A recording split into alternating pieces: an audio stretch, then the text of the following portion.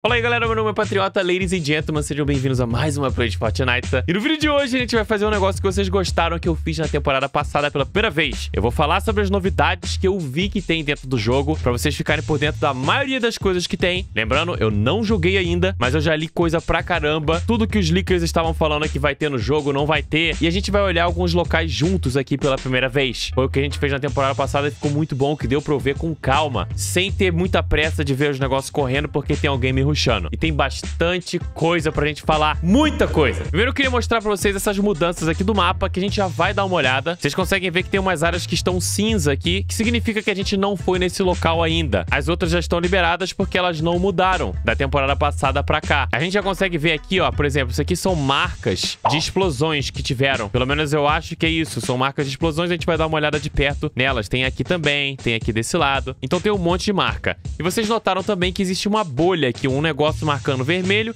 e um negócio marcando azul. Isso significa o quê? O vermelho seria a ordem imaginária. Esse local é dominado pela Ordem Imaginária. E o azul é dominado pelos sete, pelo grupo dos sete, os Jones e tudo mais. Então é o lado bom contra o lado ruim, é o lado do bem contra o lado do mal. E ao longo dessa temporada vão ter fases em que isso aqui vai se movimentar. E na teoria, até o final da temporada, o vermelho vai ficar bem pequenininho, concentrado num lado, seja no meio ou não sei se é na caverna, onde é que vai ser. Mas vai ter esse confronto aí, que eu acredito que isso vai se construir ao longo dessa temporada, para na temporada que vem, que é dia 3, 4 de junho, a gente vai ter ali a temporada do confronto. Ou vai ser no evento final agora, ou no início da temporada que vem, que vai coincidir junto com os quadrinhos da Marvel. Que era o que a gente já tava imaginando. Eu só fiquei muito surpreso mesmo da gente já ter dois personagens dos sete aqui. A Imaginária e também o Origem. Uma dúvida que muita gente tá aqui e ainda não tem certeza se é ou não é verdade. Sim, o Fortnite pelo menos na partida casual, está sem construção. Fortnite, muito conhecido por você construir, está sem construção agora. Se você entrar até o dia 29, se eu não me engano, até o dia 29 desse mês, a gente não vai ter construção no Fortnite. Então, os meus próximos vídeos, todos os meus vídeos vão ser vídeos sem construção. Eu tô muito ansioso pra fazer a nossa primeira gameplay, que vocês não têm ideia. Eu nunca joguei o Battle Royale do Fortnite sem construção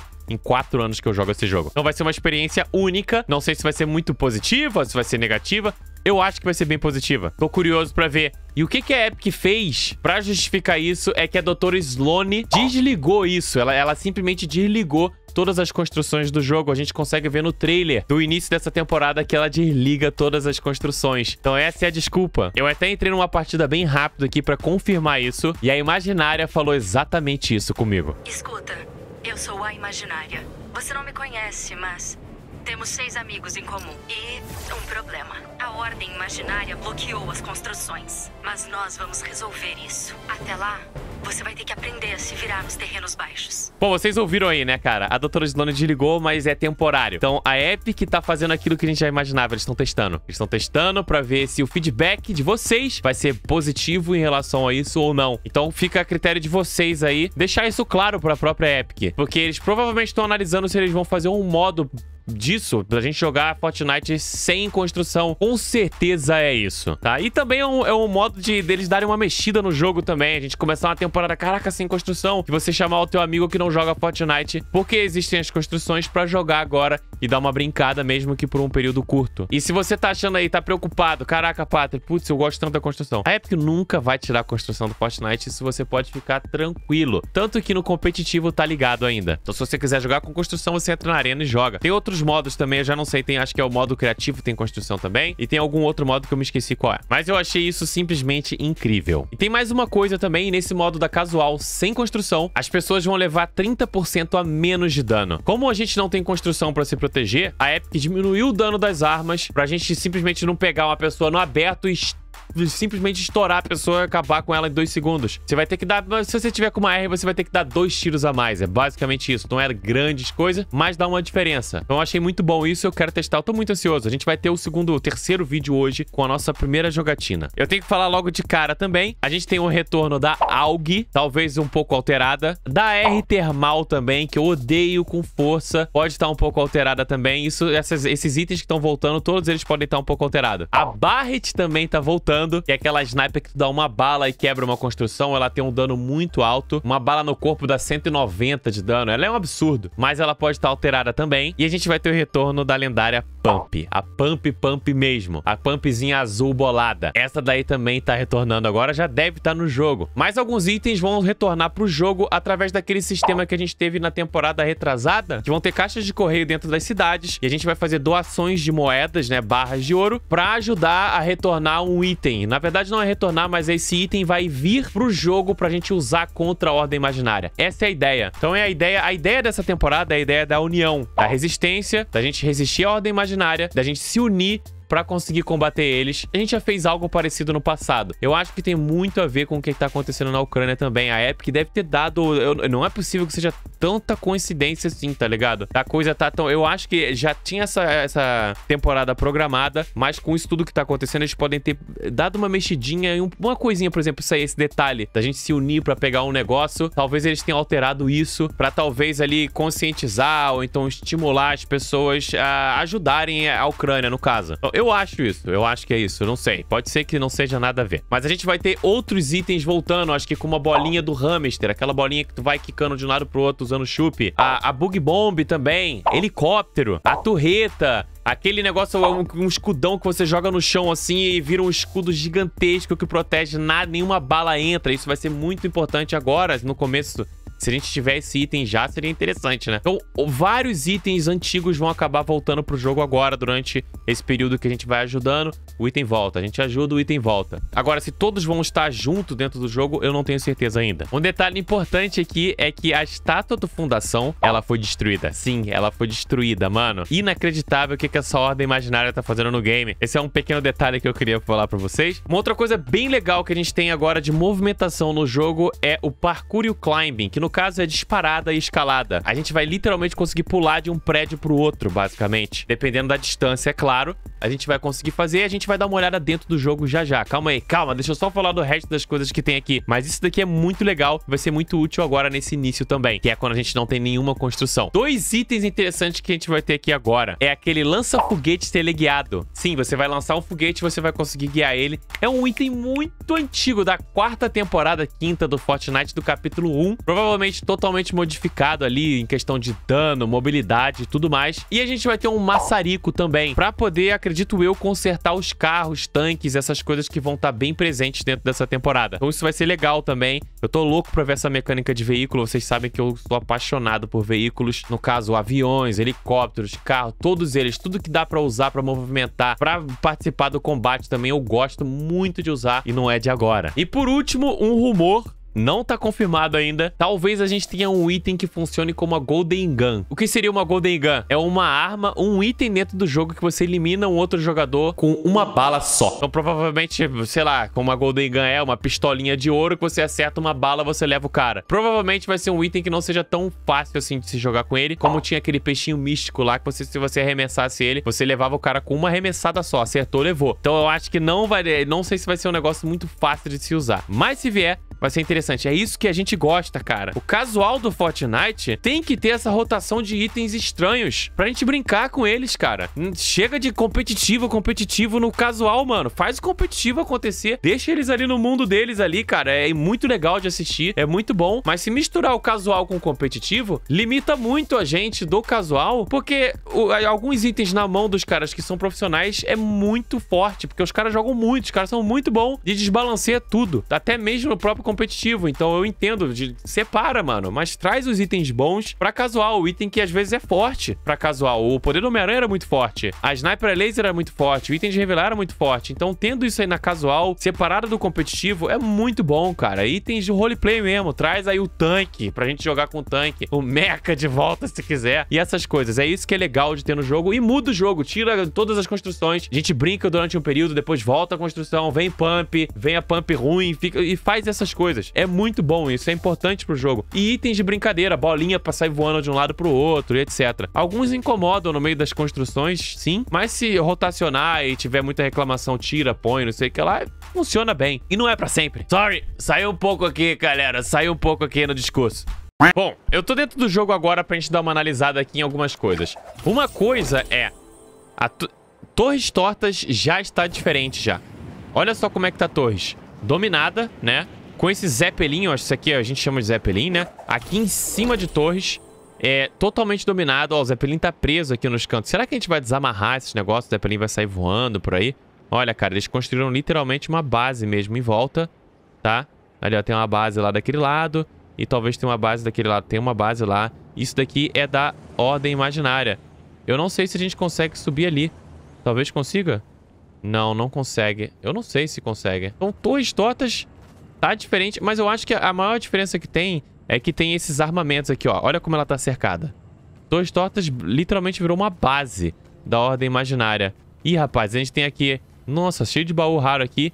Nossa, a gente ainda tem a SMG do milhão aqui, mano. Eu acho que a Epic não vai mudar tão cedo isso tudo, né?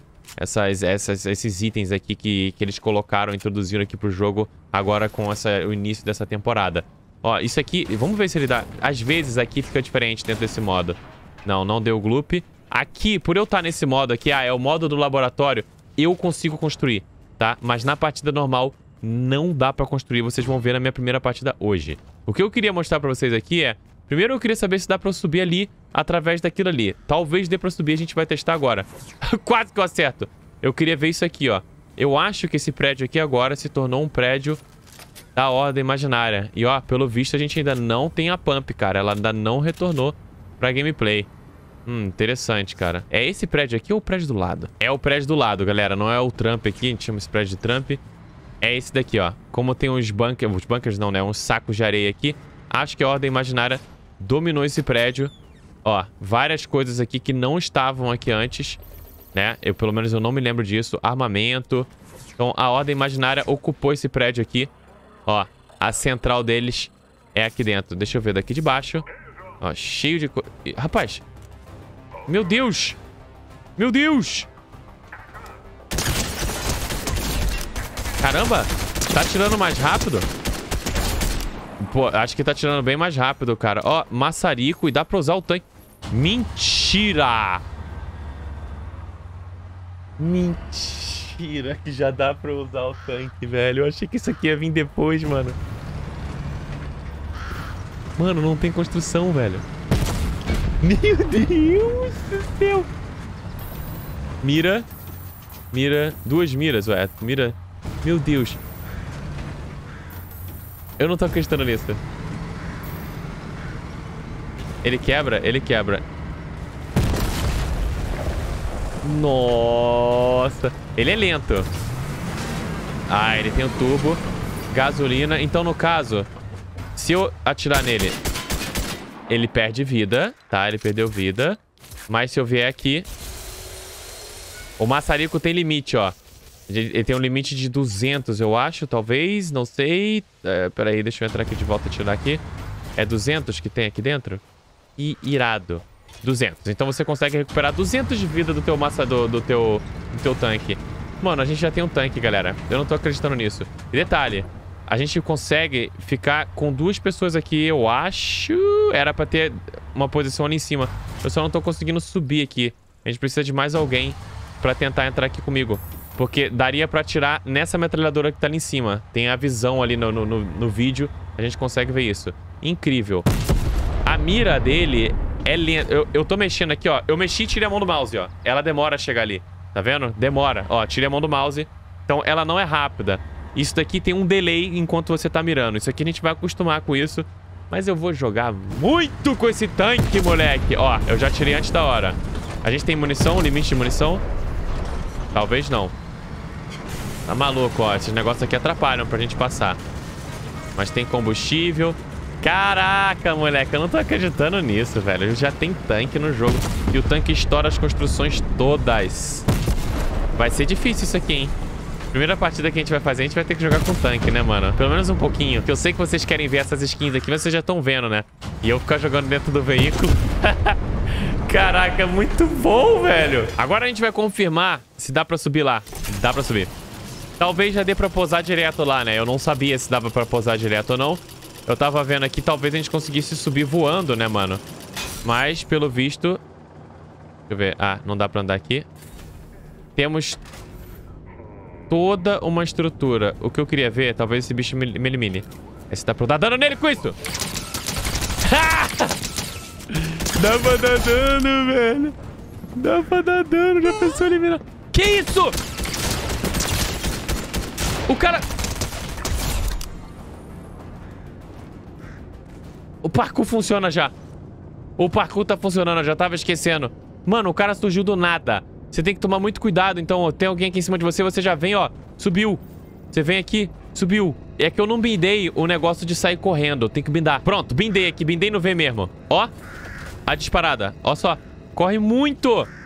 E ela dá um salto muito longo, cara. E quanto tempo será que demora? Tá recuperando ali. Então você tem a corrida normal, né? O meu boneco já corre natural no jogo. Mas se eu apertar aqui a tecla, ó, ela corre mais. E eu consigo, ó, é, passar por distâncias grandes, né? Grandes distâncias. Eu só preciso pegar uma tecla melhor pra fazer isso, cara. Porque o V de vaca é meio complicado, mano. Mas, ó, tomou tiro. Correu.